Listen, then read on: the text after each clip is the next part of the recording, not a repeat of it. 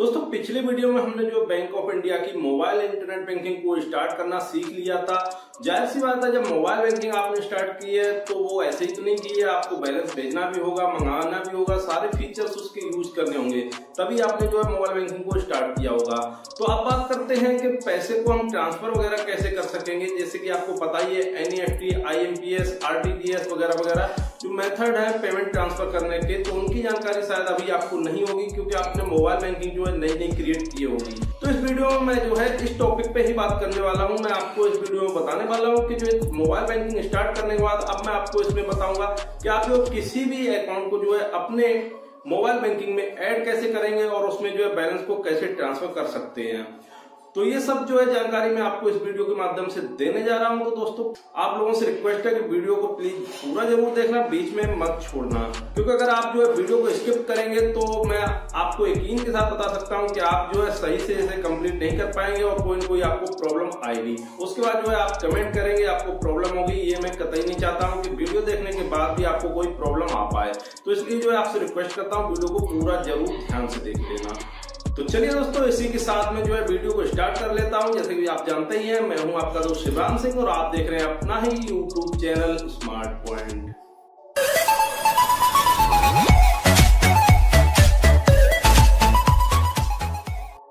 तो हमारा पिछला वीडियो देखने के बाद आपने जो है मोबाइल बैंकिंग तो स्टार्ट कर ही ली होगी, उसका यूज़र आईडी पासवर्ड आपके पास होगा ही।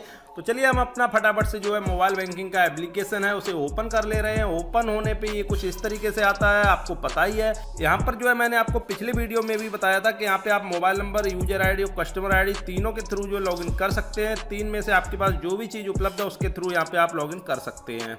यहाँ पे ऐसा कंपलसरी नहीं कि आपको केवल यूज़र आईडी के थ्रू ही लॉगिन करना है। तो यहाँ पर जो है आपको तीन ऑप्शन मिल जाते हैं तो यहाँ पे आप चाहे तो मोबाइल नंबर से लॉगिन कर लीजिए, चाहे जो है यूज़र आईडी के थ्रू कर लीजिए या कस्टमर आईडी के थ्रू तो चलिए मैं यहाँ पे अपनी यूज़र आईडी के थ्रू जो है लॉगिन कर ले रहा हूँ। तो मैंने जो है यहाँ पे यूज़र नेम और पासवर्ड अपना एंटर कर दिया है। पासवर्ड आपने जो सिक्स डिजिट का एम पिन बनाया था, वही आपको यहाँ पे डालना है। इसके बाद जो है नीचे आपको लॉगिन दिख जाएगा, इस पर क्लिक कर देंगे। इस पर जैसे क्लिक करेंगे तो ये आपका लॉगिन होके आ जाएगा आपके सामने। आपके सारे ऑप्शन जो है, जितने भी मोबाइल बैंकिंग के फीचर्स हैं, वो आपके सामने ओपन होकर आ जाएँगे। तो यहाँ पर जैसे कि आप देख रहे हैं, फैचिंग डाटा हो रहा है और उसके बाद जो है ये हमारा लॉगिन होके आ गया है। तो यहाँ पे मैंने पिछली वीडियो में आपको दिखाया भी था। अगर आपको कोई प्रॉब्लम है तो आप पिछला वीडियो जो है देख सकते हैं, उसमें मैंने मोबाइल बैंकिंग स्टार्ट करने की पूरी जानकारी दी हुई है।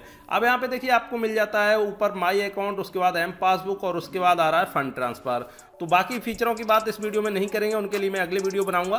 तो इसमें बात कर रहे थे फंड ट्रांसफ़र को लेकर कि जो किसी भी बैंक अकाउंट में, यानी किसी भी रिलेटिव या फ्रेंड वगैरह के अकाउंट में हमें बैलेंस भेजना है तो हम कैसे भेजेंगे? तो यहाँ पे फंड ट्रांसफ़र पे आपको क्लिक कर देना है। इस पर क्लिक करने के बाद अभी देखिए, यहाँ पे कोई भी अकाउंट नहीं आ रहा है क्योंकि हमने अभी कोई भी यहाँ पे ऐड नहीं किया हुआ। अगर आप ऐड कर लेंगे तो यहाँ पे वो शो कर देगा।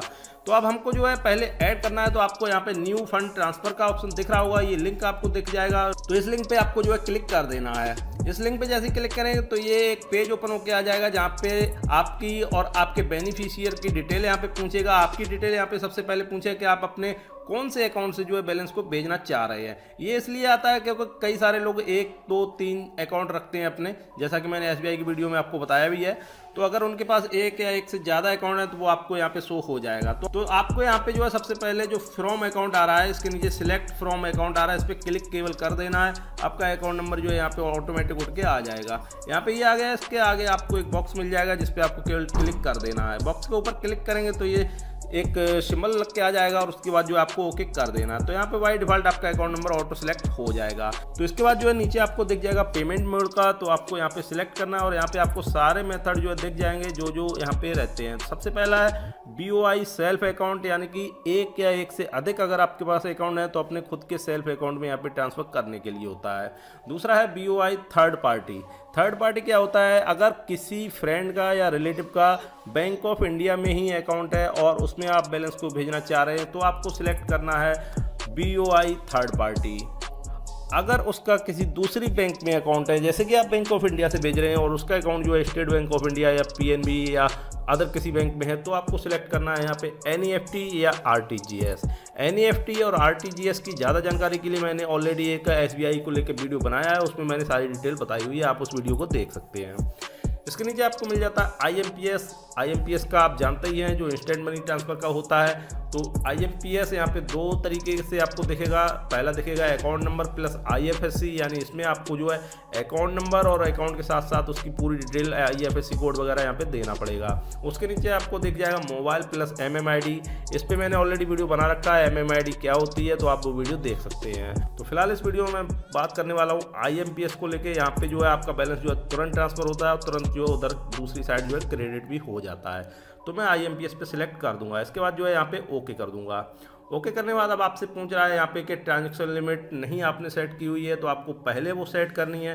यहाँ पे ट्रांजेक्शन लिमिट जब तक आप सेट नहीं करेंगे, तब तक आप आगे नहीं पढ़ पाएँगे। तो ओके के ऊपर जो है आपको क्लिक कर देना। ओके पे जैसे ही क्लिक करेंगे तो यहाँ पे जो है सारे ऑप्शन खुल के आ जाएँगे। ट्रांजेक्शन लिमिट भी खुल के आ जाएगी। सबसे पहले टैप का आ रहा तो मैंने आईएमपी चॉइस किया तो यहाँ पे आई आ रहा है। अगर आप दूसरा चाहें तो यहाँ पे क्लिक करके जो है और भी ऑप्शन आ जाएँगे आपके सामने, जैसे अभी आए थे तो वो सिलेक्ट करके आप यहाँ पे जो है लिमिट को सेट कर सकते हैं। तो यहाँ पे लिमिट आप अपने हिसाब से कम ज़्यादा इस तरीके से कर सकते हैं, इसे स्क्रॉल करेंगे इधर उधर तो लिमिट जो है कम हो जाएगी, ज़्यादा भी हो जाएगी। यहाँ पे तीन टाइप की लिमिट दी हुई है per day limit per week limit और पर मंथ लिमिट आप वीकली कितनी जा रहे हैं पर डे की कितनी जा रहे हैं मंथली लिमिट कितनी जा रहे हैं इस अकाउंट को भेजने की, वो आप अपने हिसाब से यहाँ पर सिलेक्ट कर सकते हैं। तो मैं जो है फुल रखने वाला हूँ, यानी कि जो भी आ रही है मैं फुल पे कर दे रहा हूँ और इतनी ही करके और जो है यहाँ पे नीचे आपको दिख जाएगा सबमिट तो इस पर आप सिलेक्ट कर देंगे। आप अगर कम करना चाहें तो लिमिट को कम भी कर सकते हैं। तो मैं यहाँ पे सबमिट पे क्लिक कर दूँगा। सबमिट पे जैसे क्लिक करेंगे तो यहाँ पे जो है आपसे आपका ट्रांजेक्शन पासवर्ड पूछेगा, जो जो आपने जो है मोबाइल बैंकिंग क्रिएट करते टाइम पे बनाया हुआ था, वो आपको यहाँ पे दे देना है। तो चलिए मैं फटाफट से अपना ट्रांजेक्शन पासवर्ड एंटर किए दे रहा हूँ। मैंने जो है अपना ट्रांजेक्शन पासवर्ड एंटर कर दिया, इसके बाद जो है ओके कर देंगे। यहाँ पे ओके करने के बाद जो है ये दोबारा से थोड़ा सा प्रोसेसिंग करने के बाद आपको मैसेज दे देगा, यहाँ पे मैसेज आ गया लिमिट अपडेट सक्सेसफुली अब इसके ऊपर आपको ओके कर देना है। ओके, करने के बाद आप फिर से वहीं पे आ जाएँगे जहाँ से आपने स्टार्ट किया था। अब यहाँ पे आपको दोबारा से अपना अकाउंट पहले सेलेक्ट कर लेना है। तो मैंने अपना अकाउंट यहाँ पे सेलेक्ट कर लिया नीचे मेरे अकाउंट का बैलेंस आ जाएगा। जितना भी होगा वो यहाँ पे आपको शो कर देगा। अब नीचे आ रहा है पेमेंट मोड, जो आपने अभी चूज़ किया था तो मैंने आईएमपीएस किया था, उसी को दोबारा से कर लेंगे और ओके कर देंगे।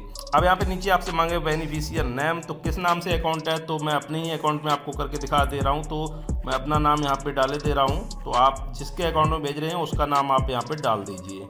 उसके नीचे बेनिफिशियर अकाउंट नंबर आपसे पूछा जाएगा। तो आपको यहाँ पे अकाउंट नंबर बेनिफिशियर यानी जिसके अकाउंट में आप भेजना चाह रहे हैं, जिसका नाम डाला, उसी का अकाउंट नंबर आपको दे देना है। मैंने अकाउंट नंबर यहाँ पे दे दिया, अब इसके बाद बेनिफिशियर आईएफएससी कोड पूछ रहा है। बेनिफिशियर का आईएफएससी कोड क्या है? अगर आपको पता है तो ठीक है, नहीं तो ये शीशा सा एक सिंबल आ रहा है शीशे का तो इस पर आप क्लिक करके जो है सर्च भी कर सकते हैं। तो यहाँ पे मैं सर्च करके आपको बता दे रहा हूँ, अगर आपके पास ऑलरेडी है तो आप डायरेक्टली डाल सकते हैं, नहीं है तो आप यहाँ पे एंटर बैंक नेम पहले डाल दीजिए। तो मेरा यूको बैंक का अकाउंट है जो मैंने डाला है तो यूको बैंक यहाँ पे देखिए इस तरीके से डालेंगे। नीचे आ रहा सिटी का तो सिटी यहाँ पे आप एंटर कर देंगे। एटा है तो मैं एटा सेलेक्ट कर दूँगा। अब नीचे आ रहा ब्रांच का तो ब्रांच यहाँ पे मेरी अलीगंज की है। अलीगंज डाल दिया। अब यहाँ पे सर्च पर क्लिक कर देंगे। तो यहाँ पर देख सकते हैं, नीचे मैंने जो डिटेल डाली है, उसका आईएफएससी कोड जो है, यहाँ पे इसने ऑटो सर्च करके दे दिया। हमको केवल आईएफएससी कोड के ऊपर क्लिक कर देना है। जैसे क्लिक करेंगे, ये ऑटोमेटिक यहाँ पे आ जाएगा। अब आपको यहाँ पे कुछ नहीं करना। और अगर आपके पास आईएफएससी कोड है तो आप यहाँ पे डायरेक्टली एंटर भी कर सकते हैं। अब यहाँ पे जो है, आपको केवल नीचे अमाउंट देना है। कि यहाँ पे मिनिमम अमाउंट कितना है? एक रुपये है, आप नीचे पढ़ सकते हैं। एक रुपये आप मिनिमम बेच सकते हैं। ज़्यादा आपके ऊपर डिपेंड है, आप कितना भेजना चाह रहे हैं। जितनी लिमिट आपने सेट की, उस हिसाब से बेच सकते हैं। तो यहाँ पे जो है, मैं फ़िलहाल आपको सौ रुपये बेच के दिखा दे रहा हूँ। आप को डेमो दिखा दे रहा हूँ। अब इसके नीचे आपको रीमार्क का दिख जाएगा। आप इसमें कुछ भी डाल सकते हैं। तो मैंने रीमार्क में सेल्फ डाल दिया क्यों मैं अपने ही अकाउंट में भेज रहा हूँ। तो यहाँ पे ये सारी डिटेल आप एक बार वेरीफाई कर लीजिए, आपका अकाउंट नंबर वगैरह सब कुछ सही से भर गया है कि नहीं भर गया, अगर कोई दिक्कत है तो आप अभी उसे करेक्शन कर सकते हैं। अगर आपने सही भर रखा है तो नीचे आपको सबमिट का दिख जाएगा, आपको सबमिट पर क्लिक कर देना है। सबमिट पे क्लिक करने के बाद ये आपको एक बार फिर से कंफर्म कराया कि आप सारी डिटेल जो है अपनी यहाँ पे मैच कर लीजिए कि आपका तो ये अकाउंट नंबर सबसे पहले आ जाएगा, जिस अकाउंट से डेबिट हो रहा है, उसके बाद जो है कौन सा अकाउंट आप ऐड कर रहे हैं अकाउंट नंबर नाम आईएफएससी कोड वगैरह और कितना अमाउंट भेज रहे हैं, सब कुछ यहाँ पे आ जाएगा। तो यहाँ पे जो है मैंने सारी डिटेल अपनी कन्फर्म कर ली है, इसके बाद जो है कन्फर्म का नीचे आपको देख जाएगा, आपको कन्फर्म पर क्लिक कर देना है। कन्फर्म पे जैसे क्लिक करेंगे तो यहाँ पे आपसे फिर से आपका ट्रांजेक्शन पासवर्ड पूछेगा तो अपना यहाँ पे जो है ट्रांजेक्शन पासवर्ड एंटर कर दीजिए। ट्रांजेक्शन पासवर्ड एंटर करने के बाद यहाँ पे ओके है तो ओके पे क्लिक कर देंगे। ओके पे क्लिक करने बाद ये थोड़ा सा प्रोसेसिंग में जाएगा और ये जो है अभी आपको एक मैसेज दे देगा। तब तक के लिए हम थोड़ा सा वेट करते हैं। यहाँ पे देख, ऊपर देख सकते हैं, यहाँ पे मैसेज आ गया मेरे पास, ट्रांजेक्शन सक्सेसफुल है। यानी कि ये हमारा पैसा जो है आराम से ट्रांसफ़र हो गया है। चलिए अब मैं आपको स्टेटमेंट में भी दिखा देता हूँ, ये पैसा हमारे अकाउंट से कटा हुआ है या नहीं।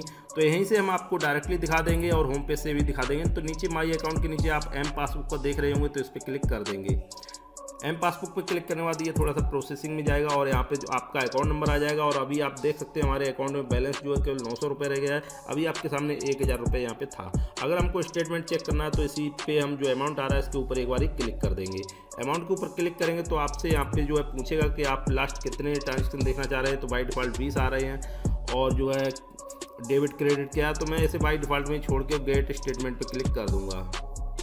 गेट स्टेटमेंट पर क्लिक करने बाद ये थोड़ी सी प्रोसेसिंग लेगा और यहाँ पे जो है आपको ये इस तरीके से जो है सारे ट्रांजेक्शन दिखा देगा। तो आप यहाँ पर देख सकते हैं, मेरे जो भी ट्रांजेक्शन है तो ये यहाँ पे इसने दिखा दिए हैं। तो यहाँ पे नीचे आने के बाद आप देख सकते हैं, सबसे नीचे मेरा सौ रुपये का ट्रांजेक्शन आ रहा है, जो अभी अभी मैंने आपके सामने जो है यहाँ पे किया हुआ है। अगर इसको आप पीडीएफ में सेव करना चाहते हैं तो यहाँ पे जनरेट पीडीएफ आ रहा है, इस पर आप क्लिक कर देंगे। ईमेल पे स्टेटमेंट चाह रहे हैं तो ईमेल स्टेटमेंट पे क्लिक कर देंगे। तो फ़िलहाल मैं ये कुछ नहीं करने वाला हूँ। अगर आप चाहते हैं तो आप इसे सेव कर सकते हैं। तो मैं यहाँ से आ जाता हूँ बैक। बैक आएँगे तो फिर से हम वहीं पे आ जाएँगे। अब मैं आ जाता हूँ होम पर। तो होम पर आने के बाद ये मैं उसी जगह पे आ गया हूँ जहाँ से स्टार्ट किया था। तो उम्मीद है दोस्तों, आप जो है फंड ट्रांसफ़र करना सीख गए होंगे बेनिफिशियर को कैसे ऐड करना है, कैसे उसकी लिमिट सेट करनी ये सब जो है आप सीख चुके होंगे। तो उम्मीद करता हूँ दोस्तों, वीडियो की जानकारी से आप जो है बेनिफिशियर को ऐड करना पेमेंट को ट्रांसफ़र करना, सब कुछ सीख गए होंगे इस वीडियो के माध्यम से। लेकिन फिर भी अगर आपको कोई दिक्कत रह जाती है, अगर आप नहीं कर पा रहे हैं, कोई दिक्कत आ रही है तो आप मुझे कमेंट करके पूछ सकते हैं, मैं आपको जो है उसका जो है रिप्लाई ज़रूर करूँगा। तो फ़िलहाल के लिए दोस्तों, इस वीडियो में इतना ही था। जल्दी ही अगले वीडियो में एक नए टॉपिक के साथ आप लोगों के साथ मिलूँगा आके तब तक के लिए हमें इजाज़त दीजिए, लेकिन जाने से पहले आप लोगों से हर वीडियो में करता हूँ। इस वीडियो में भी रिक्वेस्ट करता हूँ कि अगर आप हमारे चैनल पर पहली बार आए हैं या अभी तक हमारे चैनल को सब्सक्राइब नहीं किया है तो प्लीज़ चैनल को सब्सक्राइब ज़रूर कर लीजिए। सब्सक्राइब करने का कोई दोस्तों चार्ज नहीं लगता। बस इससे क्या होता है, हमारा जो है मनोबल आप लोगों के लिए ऐसी वीडियो बनाने के लिए और बढ़ जाता है। तो चैनल को सब्सक्राइब कर लीजिए और वीडियो अगर पसंद आया तो प्लीज़ इसे लाइक से ज़रूर कर लेना, क्योंकि इससे जो है ज़्यादा से ज़्यादा लोगों को हेल्प हो सके। तो चलिए दोस्तों, जल्दी मिलते हैं अगले वीडियो तब तक लिए इजाज़त दीजिए। नमस्कार दोस्तों।